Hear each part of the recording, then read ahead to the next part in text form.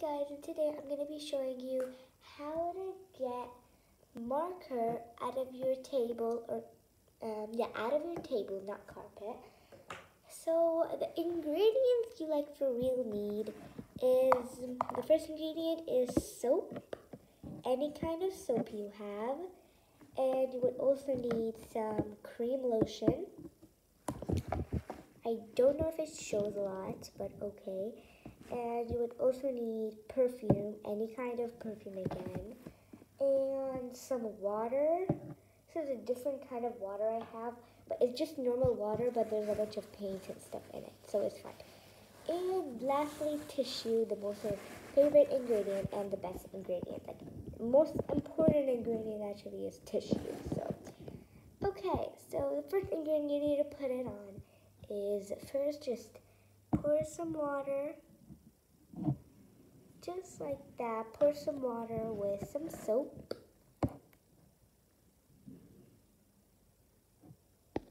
Satisfying, okay. And then add some perfume. Yes, on it, yes. and lotion, you better do it last.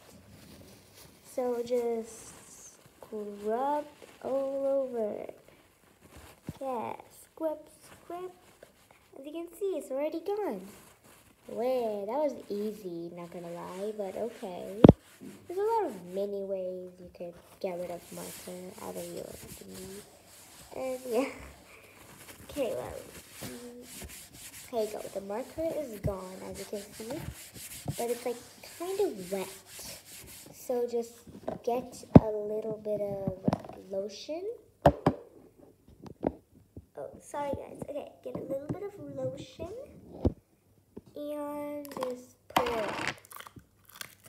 Okay, I might get some lotion. Right there and just rub. And in my next video, I'm going to be cleaning my whole table. Oops. Yes, my whole freaking table. And yeah, that's how you get marker right over here out of your table. Yeah, my pink table there. Okay, thank you for watching. Make sure to leave a like and subscribe to never miss another video. And yeah, thank you for watching. Bye.